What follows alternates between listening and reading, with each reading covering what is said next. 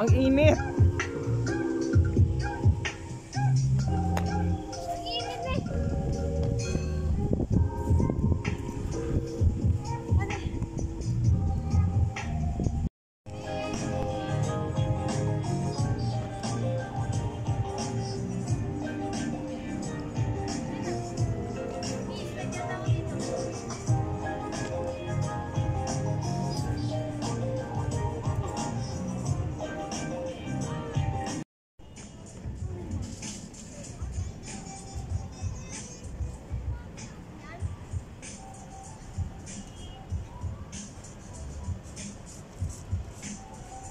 Ano ba ang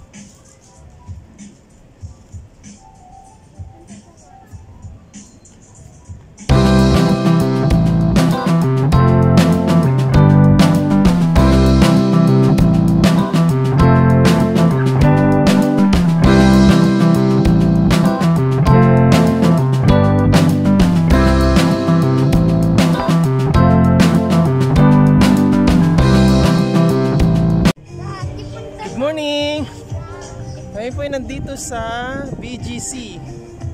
So, basta kami ah, Holy Saturday. So, bakit po? Kasi Taguig is my first place in Manila. Dito po ako nag-start from Iloilo.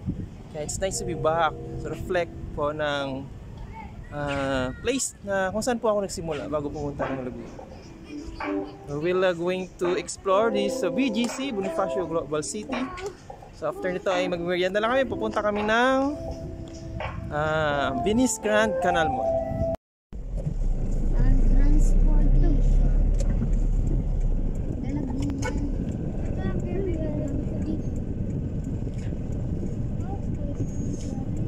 Yung nasa tingnan mo sa likod, pinuntan sa taas kanina. Ano yung shape? Design. Ang ganda ng arch- architecture niya. Ganda.